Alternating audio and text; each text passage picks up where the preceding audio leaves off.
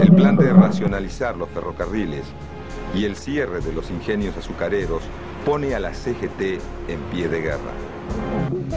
30 de marzo de 1968. Una nueva central obrera se pronuncia contra el gobierno de facto de Juan Carlos Onganía.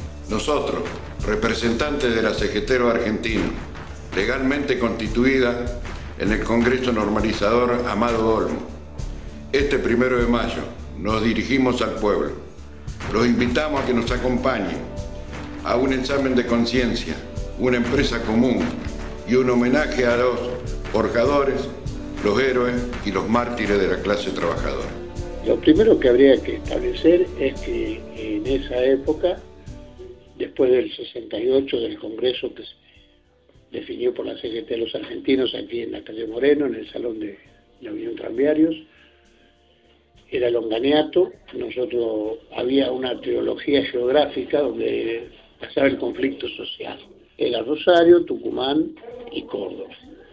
Tucumán por los ingenios tucumanos. Hay que recordar que el ministro de Economía de, de Onganía, cerró 16 ingenios, dejó uno solo, el ingenio Ledesma, y después lo mataron a Tilio Santillán, mataron a Luis Olea, un militante también, y a María Guerrero.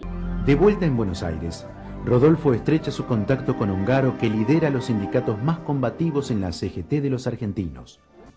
Aparezca que hay una CGT donde se reúnen dirigentes, eso no justifica que allí estén representadas la voluntad de la mayoría de los trabajadores argentinos. Por lo tanto, la CGT puede estar dentro de un edificio, fuera de un edificio, puede estar dentro de una cárcel o dentro de una conciencia. Walsh, junto a García Lupo y Horacio Berbisky, comienza a editar el diario de esa central sindical, un semanario opositor a la dictadura de Onganía, donde Walsh comenzará la investigación del asesinato de Rosendo García.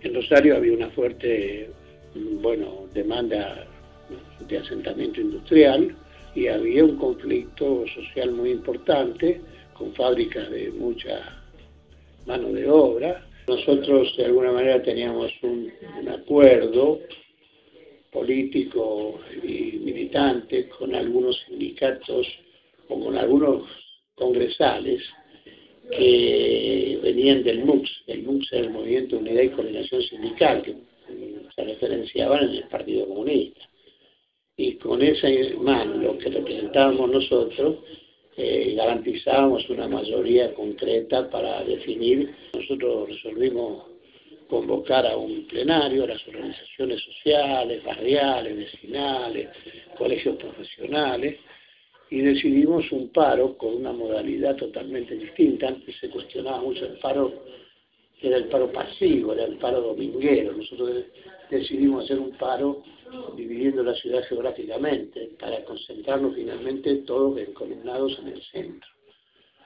Eso produjo el 21, bueno, una fuerte represión, el 22 se continuó el paro a 48 horas, se extendió después a 72, hasta el 23. Este, bueno, hubo heridos, hubo bueno, muertos que no figuran, joven San Miguel. Así que, bueno, nosotros tuvimos la oportunidad histórica de estar al frente de un hecho popular y de masas que está registrado como uno de los hechos más importantes en la lucha del movimiento histórico del movimiento obrero.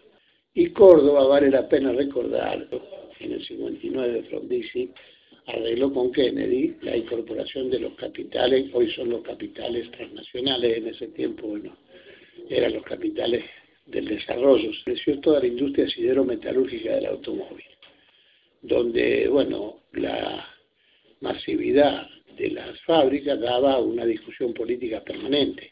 Hay que recordar que también de ahí nació el CITRAC y CITRAN, nació René Salamanca. En Córdoba había algunas dirigencias eh, muy notorias, que yo respeto y con quien tuve mucha relación.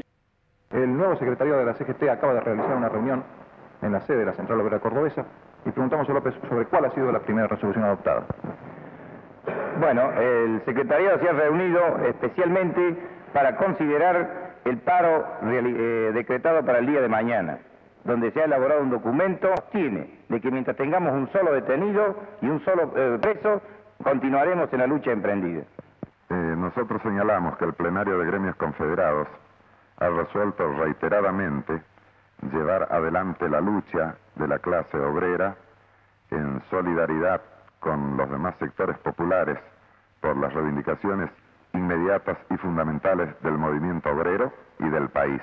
Y el medio indispensable es la continuidad de la lucha de la clase obrera de Córdoba en solidaridad militante con los demás sectores populares. En mayo confluyeron al centro de la ciudad todas las fábricas, todos los estudiantes para realizar una multitudinaria concentración de protesta. La CGT de Córdoba, quien que dispuso el envío de dos compañeros a la capital federal con el propósito de visitar al compañero Tosco y al mismo tiempo este, hacer la convocatoria a los gremios y federaciones nacionales al plenario nacional de sindicatos combativos que se realizará en Córdoba el día 22 y 23 de mayo. Una gran alegría de estar otra vez entre todos ustedes.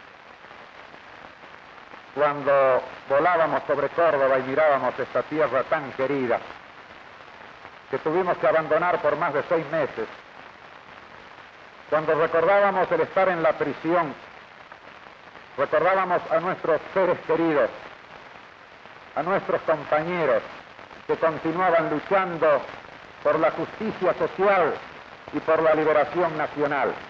Que la única conducción que tiene la clase trabajadora cordobesa es el secretariado de la CGT encabezado por el compañero Atilio López.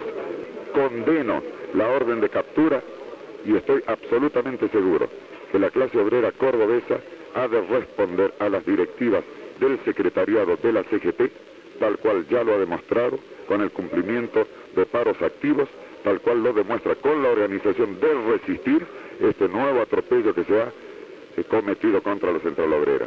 Que venga Rusia a Córdoba, que venga Corea a Córdoba y tendrán la respuesta militante, combativa del movimiento obrero y sabrán qué es la lucha, ya que ellos solo conocen la entrega, solo conocen la claudicación, solo conocen los conciliábulos, solo conocen actuar de espaldas a nuestra clase obrera negociando sus derechos, negociando la personería gremial de la CGT como sucedió hace un tiempo, protestando tímidamente por un aumento de salarios con el aumento del costo de nivel de vida ya ha sido absorbido y los trabajadores se encuentran en una peor situación que antes. Que cuando uno no conoce la historia y no sabe lo que pasó, resulta muy difícil alumbrar una política que establezca un camino nuevo, un camino que permita que con el menor esfuerzo logremos alcanzar los objetivos que en tantos años vienen peleando los trabajadores.